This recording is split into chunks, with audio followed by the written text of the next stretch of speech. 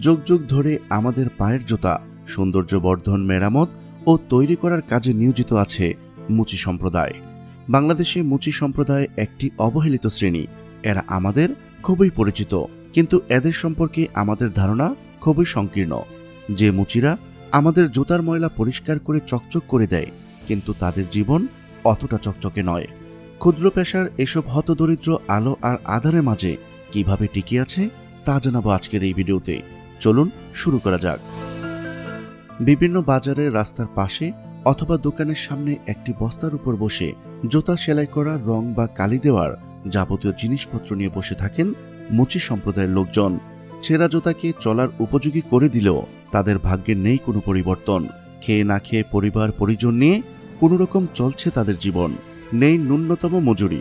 তবে মুচি পেশাটির জায়গা হয়েছে অনানুষ্ঠানিক কর্মসংস্থান ক্যাটাগরিতে। বাংলাদেশ রবিদাস ফোরামের হিসাব অনুযায়ী দেশে মুচি সম্প্রদায়ের প্রায় পনেরো লাখ মানুষ রয়েছে। অনানুষ্ঠানিক খাতে মজুরি নির্ধারণের কোনো আইন না থাকায় বঞ্চিত হচ্ছেন মুচি সম্প্রদায়ের লোকরা। এদিকে পেশাটি আগাগোড়া দিনমজুরি পেশা। কোনো নির্দিষ্ট আয় নেই তাদের। শহরে একজন মুচির দৈনিক আয় সর্বোচ্চ তিনশো থেকে চারশো টাকা। গ্রামাঞ্চলে মুচিদের দিনে দুশো টাকা উপার্জনে ব্যাগ পেতে হয়। একদিকে উপার্জন কম, অন্যদিকে আছে সামাজিক নিগ্রহ। পেশাগত কারণে সামাজিক বৈষম্য বঞ্চনার শিকার হচ্ছেন এই মুচিরা। সামাজিক প্রথাগত কারণে এখনও অনেকে তাদের সাংবিধানিক অধিকার বা রাষ্ট্রীয় আইনে প্রাপ্য অধিকার পুরোপুরি ভোগ করতে পারেন না। দুই হাজার চোদ্দ সালের আইন কমিশনের রিপোর্টেও এই বাস্তবতা উঠে এসেছিল। ভারত ও বাংলাদেশে এখনও অস্পৃশ্যতার ট্যাবু ভাঙেনি। রেস্টুরেন্টে খেতে বসে নিগ্রহের শিকার হন তারা। সন্তানদের স্কুলে ভর্তি করতে নানা প্রতিবন্ধকতার সম্মুখীন হতে হয়। মুচি সম্প্রদায়ের মাত্র পনেরো শতাংশের প্রাথমিক স্তরে শিক্ষা রয়েছে। বারো শতাংশ পার করেছেন মাধ্যমিক স্তর। উচ্চশিক্ষা নেই বললেই চলে এই মুচি সম্প্রদায়ের মধ্যে মুচিকে আমাদের দেশে একটু নিচু করে দেখলেও উন্নত বিশ্বে এটি অন্যান্য পেশার মতোই গণ্য করা হয়। যেমন যুক্তরাষ্ট্রের সাবেক প্রেসিডেন্ট আব্রাহাম লিঙ্কন বিশ্বের সেরা রাজনীতিবিদদের একজন। তার বাবাও একজন মুচি ছিলেন। সংসার ঠিকমতো চলত না বলে আব্রাহাম নিজেও একসময় মুচির কাজ করেছেন।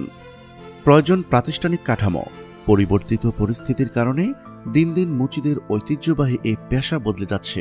পেশা বদল করে ভাগ্য পরিবর্তনের দিকেই ঝুঁকছেন মুচিদের পরবর্তী প্রজন্ম। প্রাতিষ্ঠানিক কাঠামোর আওতায় এনে ঐতিহ্যবাহী এই পেশার আধুনিকায়ন দেশের অর্থনীতিকে প্রসারিত করবে। প্রতিষ্ঠানিকভাবে সংগঠিত শ্রমশক্তি উন্মোচন করবে নতুন বাজার। ক্ষুদ্র পেশার এসব হতদরিদ্র ও অবহেলিত সুকর্মীরা আমাদের গুণে ধরা সমাজে অবহেলার পাত্র। এমনকি তাদেরকে কেউ মানুষ বলে গণ্য করতে চান না। অথচ এরাই আমাদের চলার পথে সৌন্দর্যের সিঁড়ি তৈরি করে দেন। এরা পথিকজনের সহায়ক। এরা মুচি নয়। আজ থেকে এদের পরিচয় হোক সুকর্মী। প্রিয় দর্শক, আজ এই পর্যন্তই। শুরু থেকে শেষ পর্যন্ত চেষ্টা করেছি মুচি সম্প্রদায়ের সঠিক তথ্য উপস্থাপন করতে। কোথাও কোনো তথ্যগত ভুল কিংবা আপনার পরামর্শ থেকে থাকলে তা কমেন্ট করে জানাতে পারেন। নিশ্চয়ই আবারও দেখা হবে। নতুন কোনো বিষয় নিয়ে ততদিন পর্যন্ত ভালো থাকুন, সুস্থ থাকুন। আল্লাহ হাফেজ।